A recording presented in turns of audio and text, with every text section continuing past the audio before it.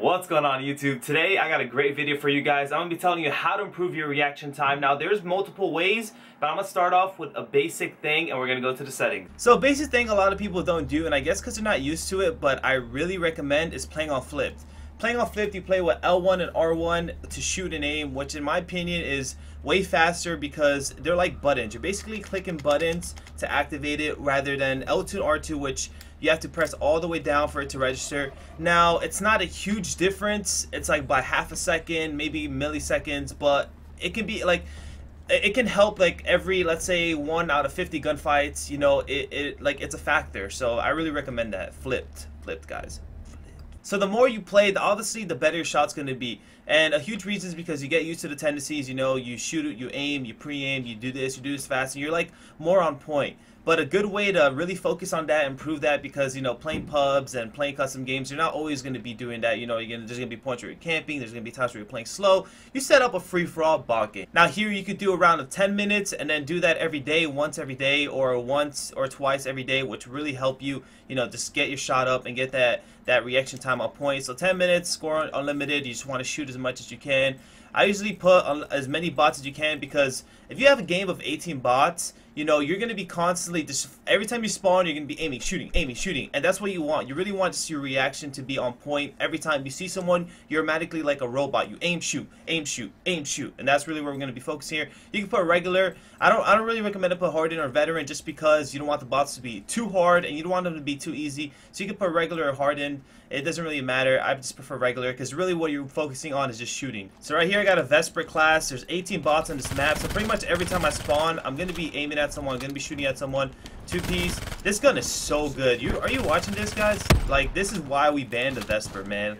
Legit, this gun is so good. So you're just gonna be constantly, you're constantly in gunfights. Like this, this is what you want. You know, you spawn in and you want your reaction to be point. Like you see me, I'm just snapping everywhere. I'm just constantly just every corner I turn, there's someone. Like this fool just spawned in front of me. This is perfect.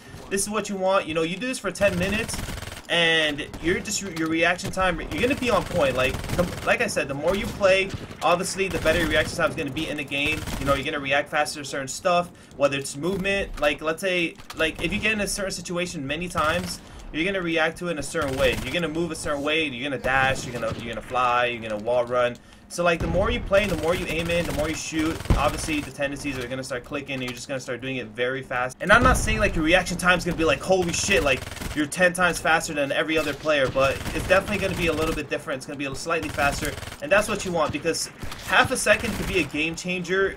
You know, when in a really important match, it could be a game changer for a gunfight. Half a second is just huge. You know, it's really important. This is the reason why Scumpy's reaction time is really fast. I think Scumpy has one of the fastest reaction time. It's just because he plays a lot. Like, he plays so much, and that's good, you know. That's really good. You want to play a lot because your reaction time, your your decision making, everything's just going to be faster. It's going to be on point, and that's what exactly what you want. And these these bots are good with snipers, man. Holy shit, bruh. So you do this for 10 minutes. Uh, I know it's really repetitive, but you're, you're gonna start you're gonna start seeing like a little bit more improvement in reaction time and just playing overall. You're gonna see your shot just clicking. You know, you're just constantly just snapping on everybody. That's exactly what you want from this video. Like pretty much improving your reaction time, and this even improves your aim a little bit, which is like two birds with one stone. And you can even challenge yourself. You can make little challenges like, let's say you do it the first time, you in 10 minutes you end up getting 150 kills and then you do it again and you try to beat that record you know? You can keep challenging yourself. Obviously sometimes you're just gonna beat beat the record due to maybe spawns or whatever but you know if you can try to challenge yourself and beat yourself every time it's you're gonna get better. Like that's how you improve. Always challenge yourself always try to become better so now the last tip before I go, I've been telling you tips, you know, how to improve your reaction time in-game, but now I want to give you tips on how to do it out of the game. Now there's obviously little things like energy drinks, you know, there's G Fuel, Monster, Red Bull, and all those things obviously help you improve your reaction time. You know, they make it faster, or not always, but you know, that's the case.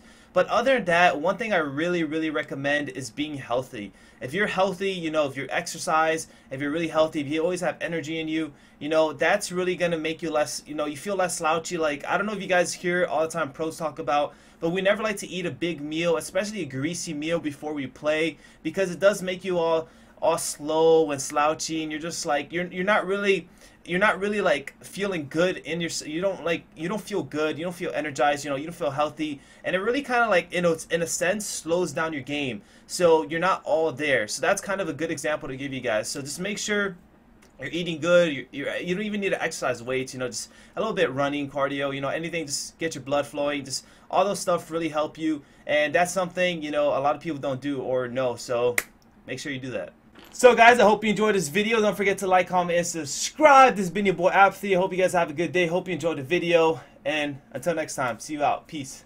West Side Stories.